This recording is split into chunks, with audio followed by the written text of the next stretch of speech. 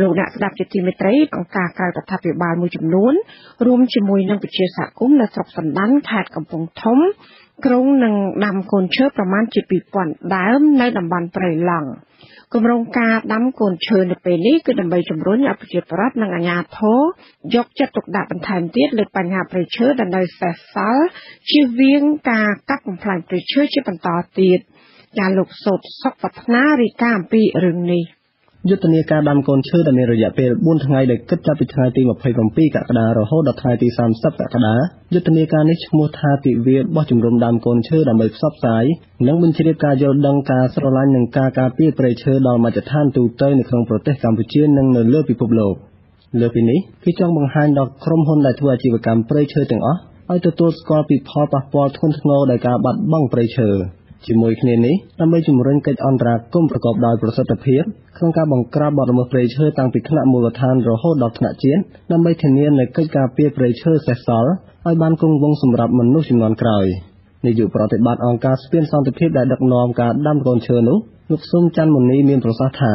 នេះជាលើកទី1សម្រាប់យុទ្ធនាការដាំកូនឈើនៅតំបន់ព្រៃឡង់និងមានលក្ខណៈទ្រង់ទ្រាយធំបែបនេះ។ លោកបន្តថានឹងមានការចូលរួមពីអង្គការជាដៃគូមួយចំនួន និងប្រជាសហគមន៍ប្រមាណជា150នាក់លោកបន្តថាមូលហេតុដែលជ្រើសរើសតំបន់ព្រៃឡង់សម្រាប់ដាំកូនឈើប្រមាណ2000ដើមឡើងវិញពីព្រោះតំបន់នោះមានការកាប់បំផ្លាញព្រៃឈើជារឿយៗពីសំណាក់ឈ្មួញនិងប្រជាពលរដ្ឋជាងនេះទៀតប្រជាពលរដ្ឋនៅតំបន់នោះមួយចំនួននៅមិនទាន់យល់ច្បាស់ពីសារៈសំខាន់នៃព្រៃឈើនៅឡើយ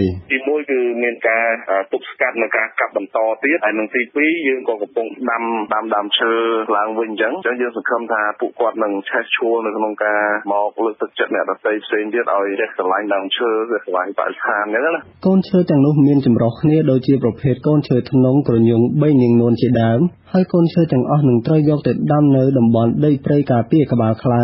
ដែលជាព្រៃការពាររបស់ប្រជាសហគមន៍ក្បាលខ្លាស្ថិតនៅឃុំសណ្ដានស្រុកសណ្ដាន អាជ្ញាធរស្រុកសណ្ដានសម្ដែងការស្វាគមន៍ចំពោះសកម្មភាពស្ដារព្រៃឈើឡើងវិញមួយនេះឲ្យតែសកម្មភាពរបស់ពួកគាត់ធ្វើឡើងដោយស្មោះត្រង់អភិបាលស្រុកសណ្ដានលោកអ៊ុនបតមានប្រសាសន៍ថាលោករីករាយចំពោះគម្រោងដើមកូនឈើឡើងវិញហើយអាជ្ញាធរនិងមន្ត្រីជំនាញនឹងអញ្ជើញចូលរួមជាមួយអង្គការនិងប្រជាសហគមន៍ទាំងនោះ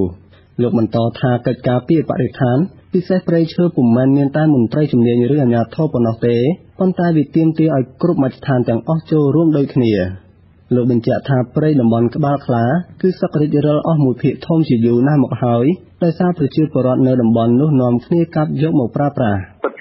ពិតជាគោលបំណងដាំដើមឈើពិតគាត់មែនយើងល្អហើយយើងនឹងចូលរួមអបអរសាទរនិងចូលរួមដាំជាមួយនឹងគាត់ប៉ុន្តែអ្វីដែលយើងព្រួយបារម្ភយើងខ្លាចគាត់ទៅជារឿងផ្សេងសកម្មភាពផ្សេងប៉ុន្តែយ៉ាងណាគឺយើងនៅតែតាមដានមើលសកម្មភាពរបស់គាត់ដែរយ៉ាងណាបណ្ដាញស្នូព្រៃឡង់លោកហ៊ឿនសុភាពឲ្យដឹងថាការដាំកូនឈើឡើងវិញគឺមិនអាចទូទាត់ទៅនឹងការកាប់បំផ្លាញព្រៃឈើដែលបាត់បង់បានទេ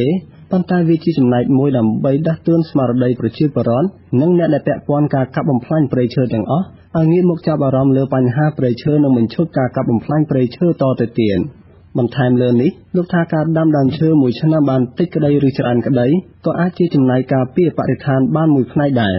ដោយឡែកលោកស៊ុំច័ន្ទមុនីលើកឡើងថាដោយសារការបាត់បង់គម្របព្រៃឈើយ៉ាងច្រើននាពេលបច្ចុប្បន្នទាំងប្រទេសកម្ពុជានិងបណ្ដាប្រទេសនៅលើពិភពលោកទើបធ្វើឲ្យបញ្ហាបំរែបំរួលអាកាសធាតុកើនឡើងជាបន្តបន្ទាប់ដូចជាបញ្ហាកម្ដៅកើនឡើងខ្លាំង គ្រោះទឹកជំនន់ខ្យល់ព្យុះនិងគ្រោះរាំងស្ងួតជាដើម